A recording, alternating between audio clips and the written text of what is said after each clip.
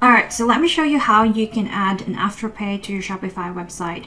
Requirements is you need to have a valid business in order to get verified in Afterpay. Um, we already registered the business of my friend in Afterpay and it's all good.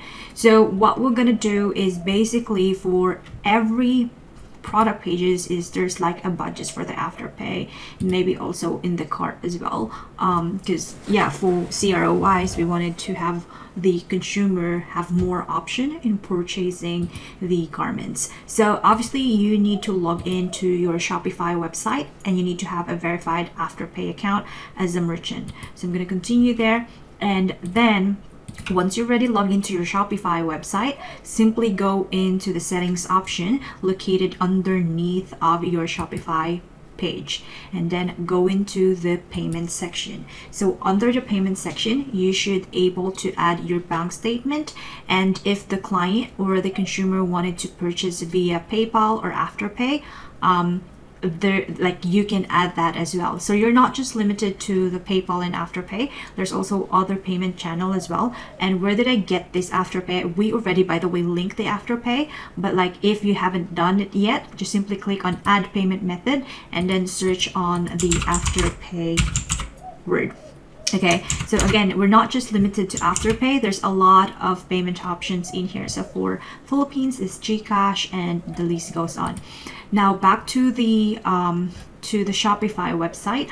Um, once you already linked your Afterpay account or Afterpay merchant um, ID, and by the way, when you're registering your Afterpay merchant, once you get verified, you'll get have a merchant ID and a secret key that you need to fill in into your Afterpay right? So you just need to link your afterpay. You should be good to go.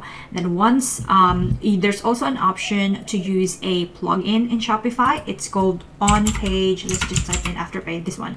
Um, on page this one. Afterpay on-site um, messaging. For some reason others are experiencing problem with this. So if might if you after like if you install this and then you're having a problem in afterpay you can also use the other way around. But let's just follow this instruction. It's super basic. So you click on the settings option. And by the way i'm going to give you the other option as well um, which a bit like has a longer code than this. So let's just follow this first. So you need to go in to your online settings and then you um, need to look for your activated theme. So we use origin and then you just need to click on the edit code option. And then in the instruction you need to look for the footer dot liquid. So let's use that search bar and look for the footer dot liquid. Inside that you will see the liquid syntaxes. Like it's basically a like an html with a um, reserve keywords that is so-called liquid. So this is like the templating language of shopify. And yeah you just need it says in here that under the footer dot liquid um, your theme doesn't include the file, then click the theme. So we actually, if the theme doesn't have a footer dot liquid, then you can add that into your theme dot liquid. All of the theme has a theme dot liquid, but in our case, we already have a um, footer dot liquid. If you don't have a footer dot liquid, just look for the theme dot liquid. Again, all of the Shopify theme has that. So let's go back to the footer dot liquid and then follow the instruction. It says find the following code that has shop enabled payment types. I'm gonna copy that because usually if you're gonna copy everything, I don't think it's gonna be it's gonna give you a result. Yeah, it's not gonna give you a result, so we'll just look for the um, shop.enable search. So this one.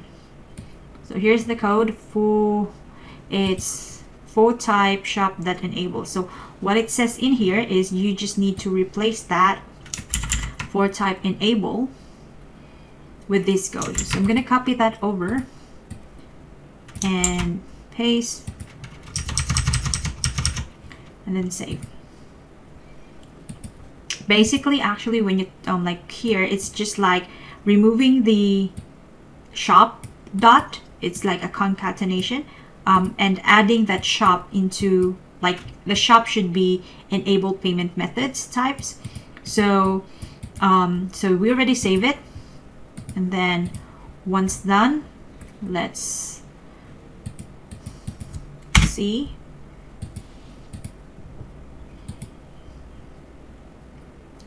So uh, find a theme, find the code. So I think what it's only giving this option is when you add to cart and you click on the checkout it's give you the afterpay option. Okay, let me let me just double check it. I'm gonna replace it again. I'm gonna revert this back again to a normal um, payment option. Let's see if we can still see the afterpay. If not, then I think it's only applicable for the checkout. So I'm gonna click that.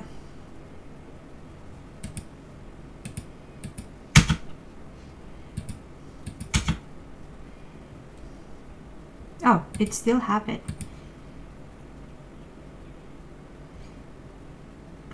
I see it's more on the footer side.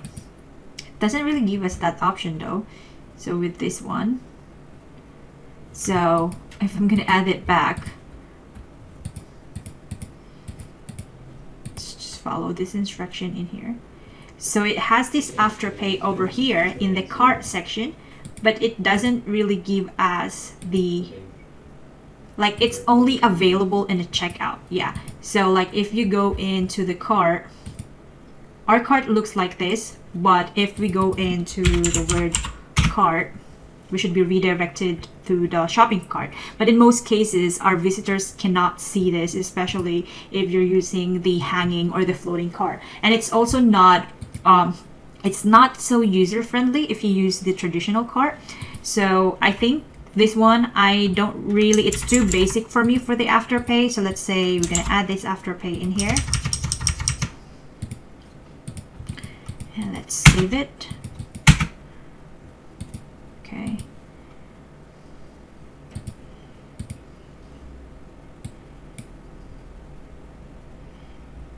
It has the afterpay option.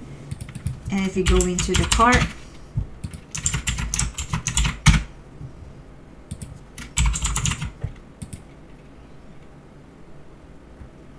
let me add random um, products and let's go to the cart. It has an, an afterpay in the footer side, but what we actually want is having an afterpay in the product pages. We don't really, I mean, I, this won't gonna benefit us though. Um, but the good thing is in the checkout option is it also allow you, the consumer already allow um, to use afterpay. Okay, but we want it to be SRO fr CRO friendly. So I'm going to look for the Afterpay documentation. So on Afterpay manual payment, um, no, Afterpay manual code, um, Shopify. Let's see. Okay. Let's see the documentation in here and I really like their documentation. It's super straightforward. If even though you're not a programmer, you can easily work this out. So what it says in here, in the Afterpay messages, you need to add the following code into your theme.html. So we wanted to have this basically this kind of like option in our product pages. Like here, we want to add a budget there in most cases, um, consumer, we're gonna look for the product or the individual products than the footer or the cart. So we want to have this option. So what it says in here basically is you need, okay, the following positions in the site messaging onto the product and cart pages on Shopify website. So we can copy everything, all of this, and if you don't if you think that like the you know there's a lot of comment section that you really don't need. So you can feel free to remove all of these grade icons if you want. Um, we can copy paste that. And then what it says in here is you need to go again to the theme and look for the theme dot liquid. So let's go back to the online store and go to these three dots, click on edit code and look for theme dot liquid. And then you scroll down at the bottom part. Um, it should be after the closing HTML we paste that. You can always remove this if you want to but for some cases if you want to you know add more um, logical condition to this afterpay messages then you can use these variables as your basis. So i'm going to click save there. And then we hit save. Okay let's just go back here. So okay so once it's already added into the um, liquid footer I don't really need the I think this is already good. Let me just let me just check it in incognito mode and click that. Okay cool. So we already have this afterpay um, on like on-site messages. This is what we want. Um, and there's also other documentation in here. If you really want to you know highlight the afterpay that we are um, highlight the afterpay then you can also add the afterpay into your cart section. So at the moment it's still not showing. It needs to you need to refresh the cached so af at the moment um, it has an afterpay in in the product page but you click on add to cart there's no afterpay in here. If you really want to be you know super you really want to highlight afterpay there's also other code in here that you can paste into your theme dot liquid. So what it says in here is you need to um yeah so to add a messaging to the dynamic or drawer cart um, follow all the configuration what's the configuration here? Okay so what it says is you need to follow you need to add this code first to your um, themes dot liquid and then on the um, theme dot liquid so after you paste the code into your theme dot liquid what they're saying is you need to enable. So that's the reason what i told you like if because this one has a corresponding you know feature. So if you want to enable the cart then you can always uncheck or uncomment these variables so let's just find the afterpay cart integration. So that one so you need to enable that afterpay card selector and observer target as well. Saved. And if we open again the website. And try to check out. Oh, it's still not showing. Let me see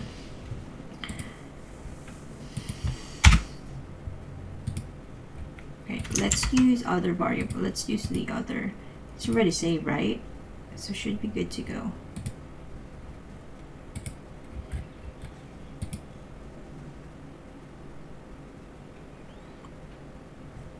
Okay.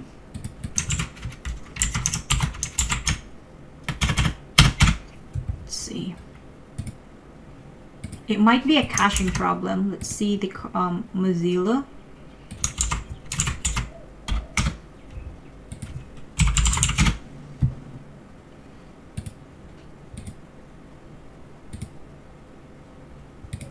okay it's not working so you probably need because this is using um like cart drawers item so you need to check the variables. So i'm not going to be covering this um, tutorial at the moment but if you want me to create a tutorial if you want me to check on you know what is a variable corresponding to this cart then let me know comment down below and we'll make sure to put in or embed the afterpay into the floating cart.